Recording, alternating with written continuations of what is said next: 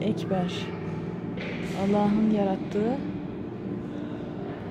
değerli kullar yapıyor bunları da işte.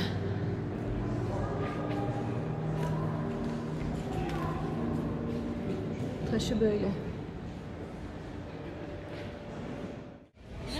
Buradan